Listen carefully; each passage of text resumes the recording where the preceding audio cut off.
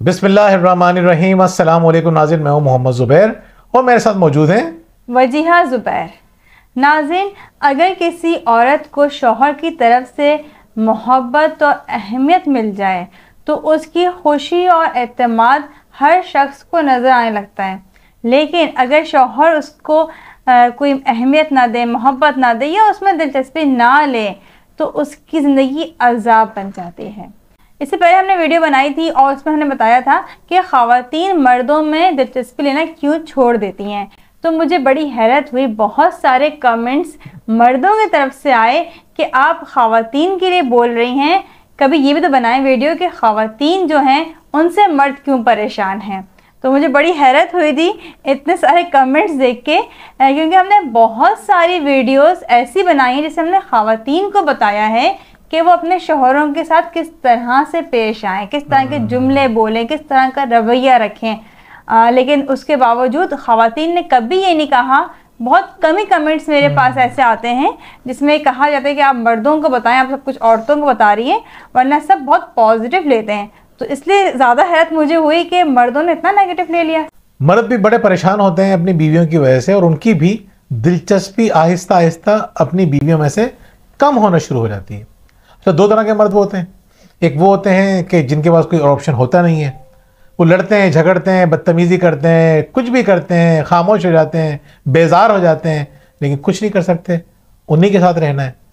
फिर उन्होंने अपनी हालत भी ऐसी कर ली होती है क्योंकि उनको दूसरा ऑप्शन ही नहीं होता। कोई को देखना में पसंद नहीं करता।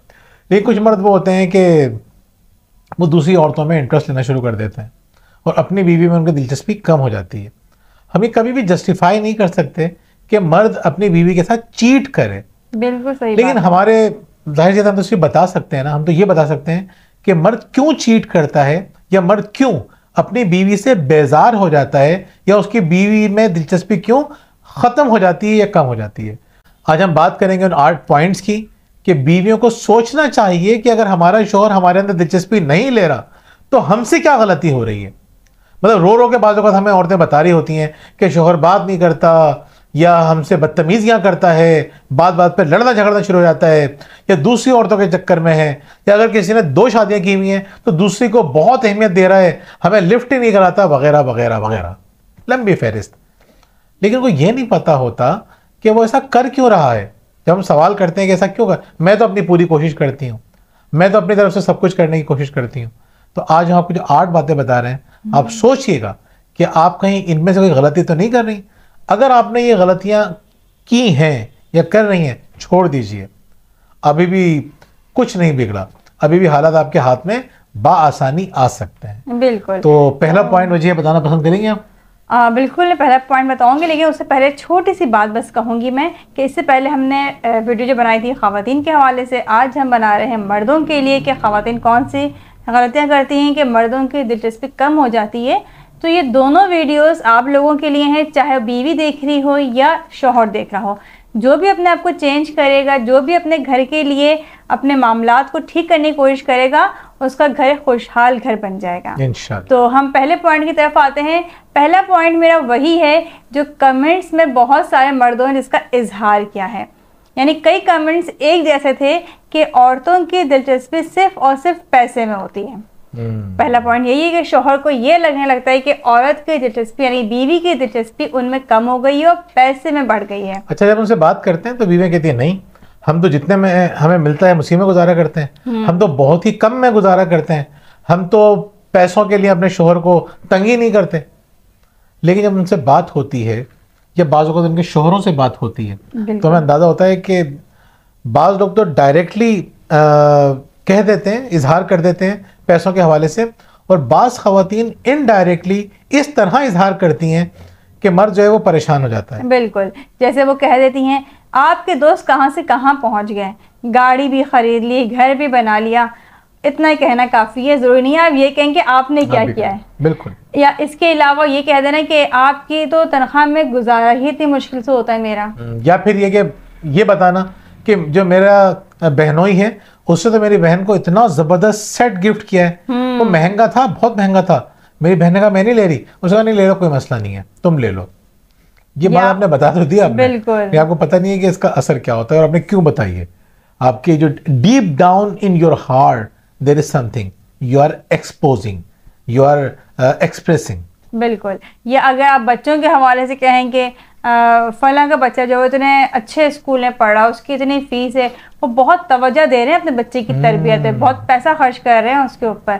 तो आप खुद सोचें अगर आपके शोहर की इतनी इनकम नहीं है इतनी हैसियत नहीं है तो क्या उसको अच्छा लगेगा ये सुनना? क्या वो पसंद करेगा ये सुनना? बल्कि उसको यही लगेगा कि आपका सारा इंटरेस्ट जो है वो पैसे में है। मुझसे एक साहब एक दफ़ा बड़ी ज़बरदस्त बात कहने लगे। हम्म, कहने लगे कि दोस्त हैं हमारे बहुत अच्छे। तो वो ट्रेनर भी हैं, मुझसे कहने लगे, यार, मुश्किल वक्त में अगर बीवियाँ साथ ना दें तो हालात ठीक होने के बाद अगर पैसा आ जाए तो मर्द के दिल में ना वो एक कसक रहती है। अगर हालात ठीक हो जाते हैं, बीवी का रवैया अच्छा हो जाता है तो मर्द यही सोचता रहता है कि इसका रवैया इसलिए अच्छा है क्योंकि मेरे पास पैसा है। और अगर कल मेरे पास से पैसा चला गया तो दोबारा पहले जैसी हो जाएगी। तो नाजरीन, हर शख्स के लिए पैसा इंपॉर्टेंट होता है। लेकिन वो रिश्तों से इंपॉर्टेंट नहीं है। मेरे लिए मेरी बीवी बहुत इंपॉर्टेंट है। लेकिन अगर ये मैं ये ज़ाहिर करना शुरू कर दूँ कि कुछ दूसरी चीज़ें वो ज़्यादा इंपॉर्टेंट हैं तो हमारा रिश्ता कमज़ोर पड़ जाएगा। या पैसा ज़्यादा इंपॉर्टेंट है, या कुछ और रिश्ते मेरे लिए इंपॉर्टेंट हैं तो ये हमें समझना चाहिए कि इनडायरेक्टली ये एहसास दिलाना कि उनके लिए पैसा ज़्यादा इंपॉर्टेंट है और शोहर जितना कर रहा है, वो कम कर रहा है। हम्म तो अब आते हैं हम दूसरे पॉइंट की तरफ़। दूसरा पॉइंट है नेगेटिव न्यूज़ ही हमेशा देती हैं। हम्म, यानी मनफी खबरों की भरमार होती है उनके पास। जैसे ही शोहर घर आता है तो बच्चों की शिकायतें कर देना जॉइंट फैमिली में रह रहे हैं तो ससुराल वालों को शिकायतें कर देना जॉइंट फैमिली में नहीं रह रहे हैं तब भी नंद का फ़ोन आ गया जेठानी का फ़ोन आ गया कहीं से कोई खबर पर चल गई तो उसका बता देना या कोई भी ऐसी बात दिन भर उन्हें परेशान कर रही थी वो शोहर के आते ही उसके सामने शुरू कर देती हैं कि भाई ऐसा हो गया मैं तो बड़ी परेशान हूँ। जो भी है।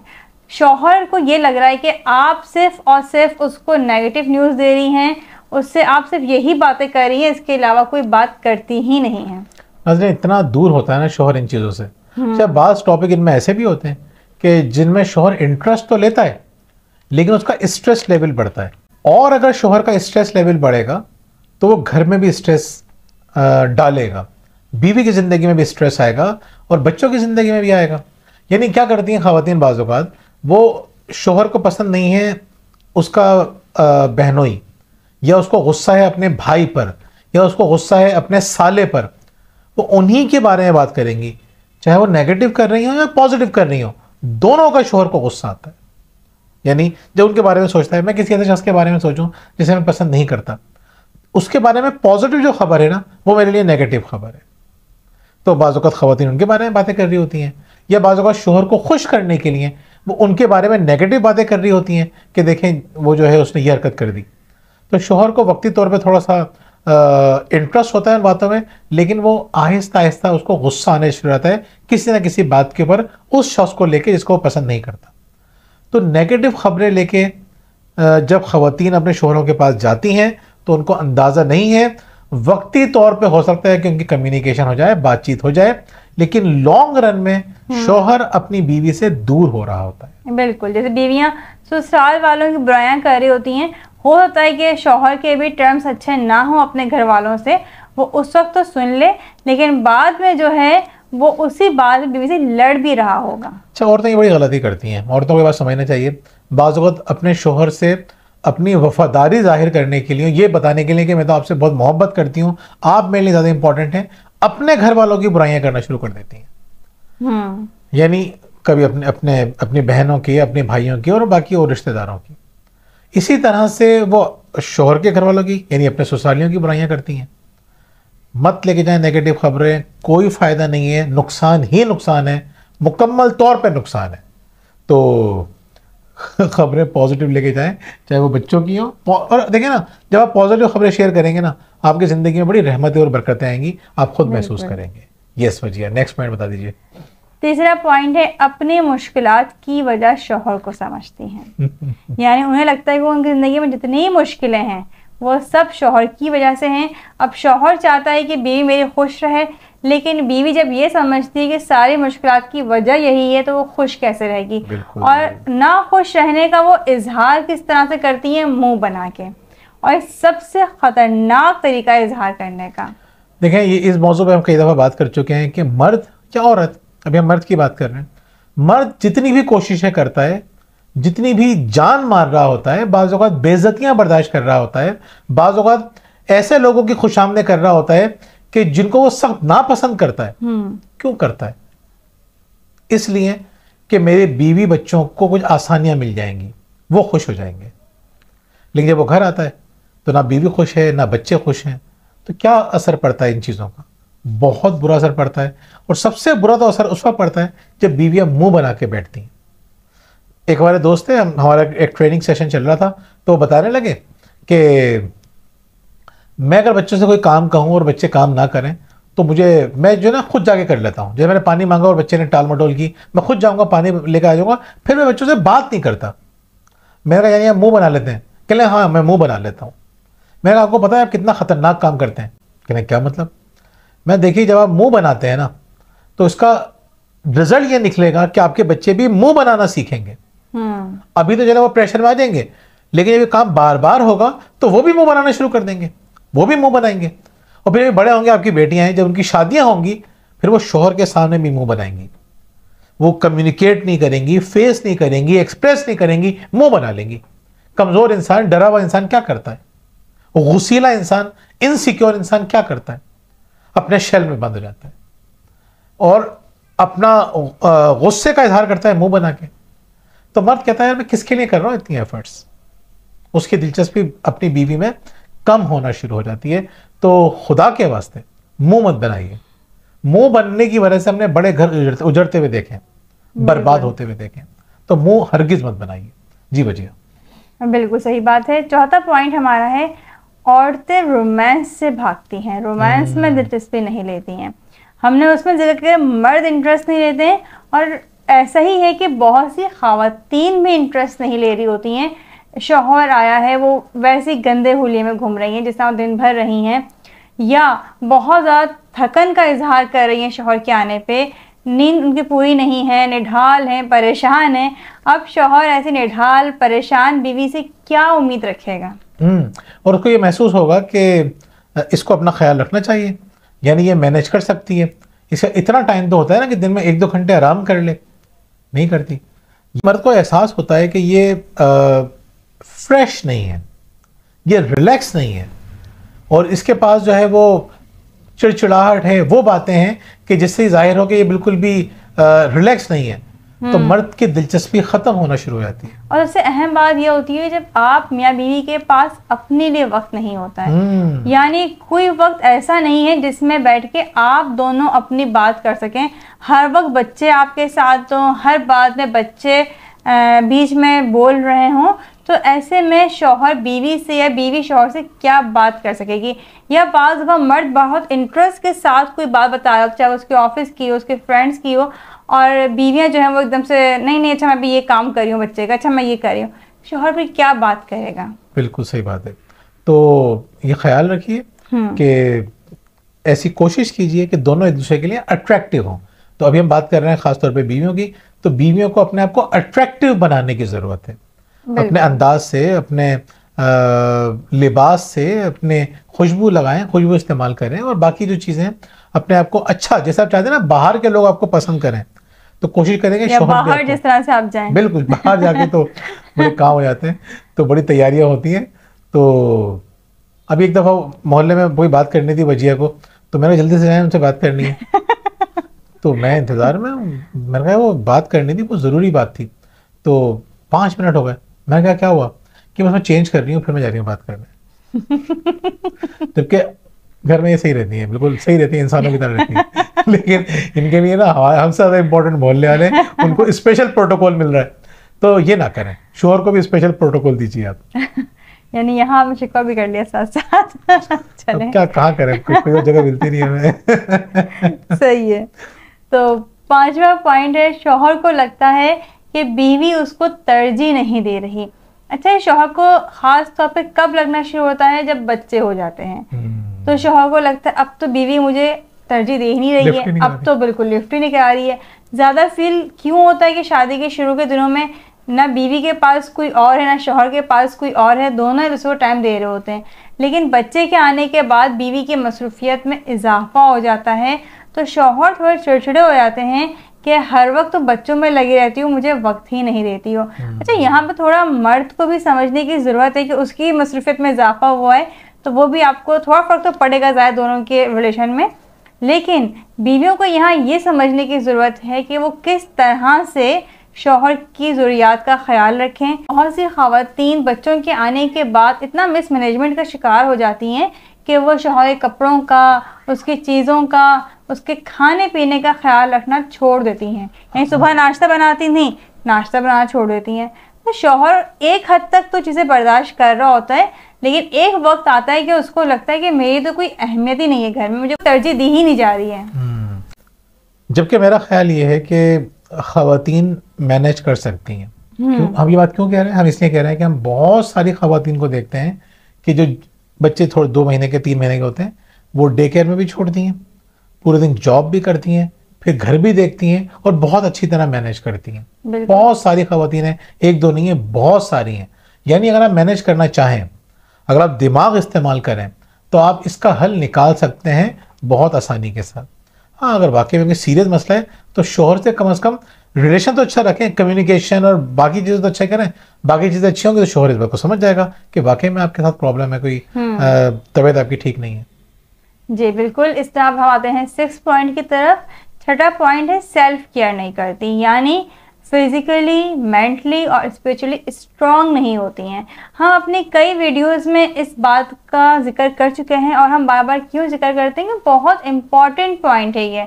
अगर आप अपनी केयर नहीं करेंगी आप खुद स्ट्रांग नहीं होंगी तो आप शौहर का क्या ख्याल रखेंगी बच्चों की क्या तरबियत करेंगी आप? पहले तो आपकी सेल्फ केयर है ना अपनी सेल्फ केयर पहले आपके लिए इम्पोर्टेंट है। यानी आप अपने दिमाग में क्या डाल रहे हैं? जिसमें हमने कहा था कि आप जो है अपने आप से पॉजिटिव बातें कीजिए। हमने तीन वीडियोस बनाई हैं पिछले हफ़्ते इस टॉपिक के ऊपर और लोगों का बहुत अच्छा रिस्पॉन्स आया। अपने आप से अच्छी बातें करें अपने रिस्पेक्ट करना सीखिए। सेकंड ये कि आप क्या खा रहे हैं इसका ख्याल रखिए। एक्सरसाइज कर रहे हैं नहीं कर रहे हैं। स्पिरिचुअल स्ट्रेंथ बहुत ज़रूरी है। अगर आप अपना ताल्लुक अल्लाह ताला से मज़बूत कर रहे हैं, यानी इबादत भी और हकूक़ुल इबाद का भी ख्याल रख रहे हैं, हुस्न अखलाक का भी मुजाहरा कर रहे हैं, सब्र और बर्दाश्त भी आपके अंदर है। यकीन कीजिए छोटी छोटी बातों पर जब आप अमल करना शुरू करते हैं ना तो आप बहुत मज़बूत हो जाते हैं और आप बहुत ज़्यादा अट्रैक्टिव हो जाते हैं। कोई आपसे बेजार नहीं होता। अगर आप वाकई में रिलीजियस हैं, अगर आप वाकई में मेंटली स्ट्रांग हैं, अगर आप वाकई में सेल्फ केयर कर रहे हैं तो ऐसे शख्स की बड़ी वर्थ होती है जो अपनी वर्थ जानता है। मैं अपने आप को कोई समझता नहीं हूँ ना तो कोई भी शख्स मुझे इस्तेमाल कर लेगा। लेकिन मुझे अंदाज़ा होगा कि मेरी कोई वर्थ है तो कोई मुझे बेवकूफ़ नहीं बनाएगा या मुझे अंडर वैल्यू नहीं करेगा। हम्म। तो आपको ये समझना चाहिए। अपनी अहमियत समझने का मतलब नहीं है कि खुद पसंदी।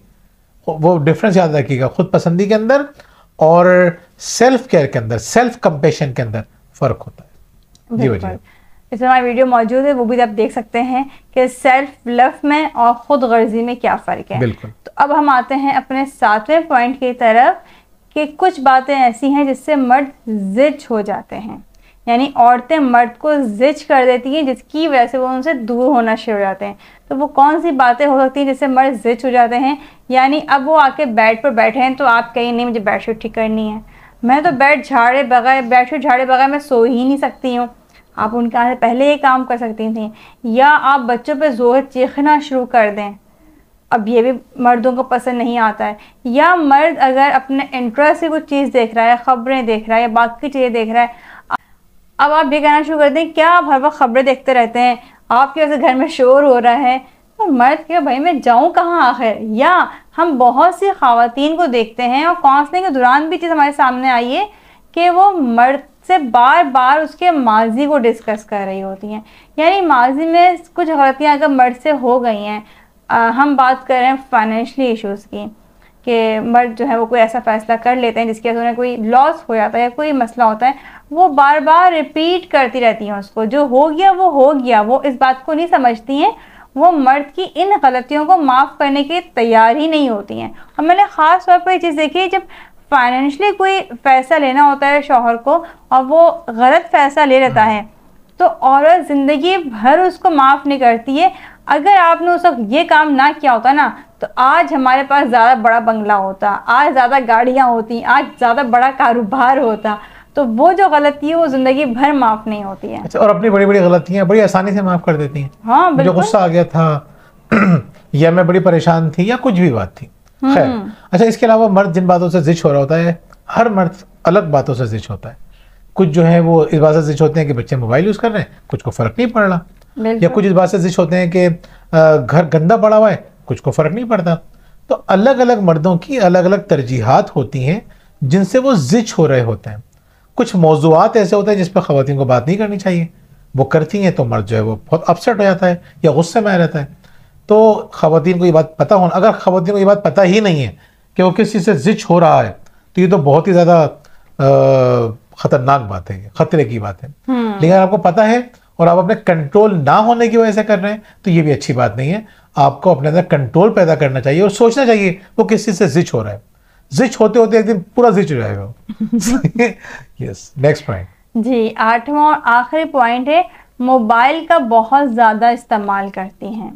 जिस तरह औरतों को शिकायत है मर्दों से कि हमारा इंटरेस्ट इसलिए भी कम हो रहा है मर्दों में कि वो मोबाइल बहुत यूज़ करते हैं। आने के बाद बस वो मोबाइल ही यूज़ कर रहे होते हैं। इसी तरह मर्दों का इंटरेस्ट भी ख़वातीन में इसीलिए कम हो रहा है कि मोबाइल बहुत इस्तेमाल करती हैं। अच्छा मर्दों को ये भी लगता है कि मिसाल के तौर पर अगर वो सामने इस्तेमाल ना भी कर रही हैं, बहुत सारी खातन कहेंगी हम तो उनके सामने इस्तेमाल करी, करते ही नहीं हैं। तो मर्द को पता चल जाता है कि बीवी का सारे दिन भर का टाइम गया कहाँ है? ना उसकी नींदें पूरी हो रही हैं ना घर साफ़ है ना कोई दूसरे कोई मेजर काम हुए हैं। तो भाई ये वक्त आखिर गया कहाँ? तो उसको पता होता है कि मोबाइल में गया है। आजकल सबका वहीं जा रहा है। तो अगर मिसाल के तौर पे वो चीज़ें सारी मैनेज करती है और फिर मोबाइल इस्तेमाल करती हैं कोई हर्ज नहीं है। और ये बात हम सिर्फ़ बीवियों को नहीं कह रहे हैं। पूरी दुनिया में जितने भी प्रोडक्टिविटी एक्सपर्ट्स हैं वो यही बताते हैं कि दिन का जो पहले दो घंटे हैं ना उसमें जितने काम निपटा सकते हैं निपटा लीजिए। उसके बाद कीजिएगा तफरी। बिल्कुल सही बात है। और देखिए अगर खातन मोबाइल का ज़्यादा इस्तेमाल करेंगे तो उसका नुकसान उन्हें बहुत ज़्यादा होगा। एक तो बहुत ज़्यादा थकन का शिकार रहने लगेंगी थकावट बहुत ज़्यादा होगी मेंटल जो टायर्डनेस होती है। बिल्कुल वो उन्हें होने लगती है। और उसकी एक बड़ी वजह क्या है कि जब वो मोबाइल का इस्तेमाल करती हैं ज़्यादा तो उनके घर के काम डिस्टर्ब होते हैं। जब घर के काम मुकम्मल नहीं होते तो वो एक बर्डन उनके सर पे होता है। और उसकी वजह से बच्चे भी ज़्यादा मोबाइल इस्तेमाल करते हैं। बिल्कुल। अगर माँ बाप ज़्यादा इस्तेमाल करेंगे तो बच्चे भी इस्तेमाल करेंगे। आज की इस वीडियो से मुझे उम्मीद है कि आप लोग समझ ही होंगे कि मर्द खातन से क्यों दूर हो रहे हैं उनकी दिलचस्पी क्यों कम हो रही है। तो अगर इसमें से आप एक गलती भी करती हैं तो उसको सुधारने की कोशिश करें। आपका घर भी बहुत अच्छा खुशहाल और कामयाब घर हो जाएगा। बहुत बहुत शुक्रिया। अल्लाह हाफिज। अल्लाह हाफिज़।